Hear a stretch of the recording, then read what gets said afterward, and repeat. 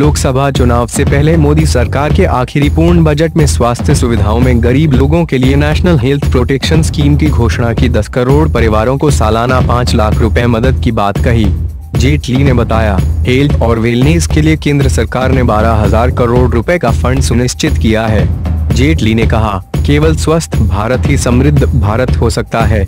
Ayushman Bharat programme में हम 2017 की हेल्थ पॉलिसी को मिशन के रूप में स्वीकार कर रहे हैं। भारत आयुष्मान प्रोग्राम के तहत देश के अलग अलग हिस्सों में एक दशमलव पाँच लाख हेल्थ वेलनेस सेंटर्स या कम्युनिटी हेल्थ केयर सेंटर खोले जाएँगे, जो छूत और संक्रामक जैसे रोगों का उपचार होगा। इन केंद्रों में लोगों को दवाइयाँ भी मुफ़्त मिल सके। हेल्थ प्रोटेक्शन प्रोग्राम के लिए प्राइवेट सेक्टर से भी सहयोग की उम्मीद करते हैं। सरकार गरीबों के स्वास्थ्य के लिए चिंतित है। राष्ट्रीय स्वास्थ्य बीमा के तहत तीस हज़ार रूपए दिए जाते हैं।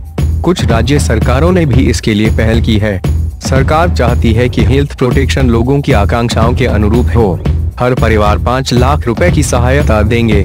जेटली ने कहा, ये दुनिया का सबसे बड़ा हेल्थ प्रोटेक्शन कार्यक्रम होगा। जेटली ने कहा 10 करोड़ परिवार यानी 50 करोड़ लोगों को प्रतिवर्ष 5 लाख रुपए की सुविधा सरकार उपलब्ध कराएगी। फ़िलहाल राष्ट्रीय स्वास्थ्य बीमा योजना के तहत सरकार की ओर से तीस हज़ार रूपए दिए जाते हैं। जेटली ने कहा, टीबी एक छूत का रोग है। सरकार ने फैसला किया है कि इसके लिए सहायता राशि के आवंटन को बढ़ाया जाएगा। पीड़ितों को पाँच सौ रूपए दिया जाएगा 24 नए मेडिकल कॉलेज बनाए जाएँगे। जिला अस्पतालों का दर्जा बढ़ाया जाएगा। हर संसदीय क्षेत्र में एक मेडिकल कॉलेज हम सुनिश्चित करने की कोशिश करेंगे। हम ग्रामीण क्षेत्रों में खुले में शौच मुक्त करना चाहते हैं। प्रधानमंत्री जीवन बीमा के तहत दो लाख का लाइफ इंश्योरेंस मिलेगा। तेरह हज़ार करोड़ लोगों को इसमें लाया जा चुका है।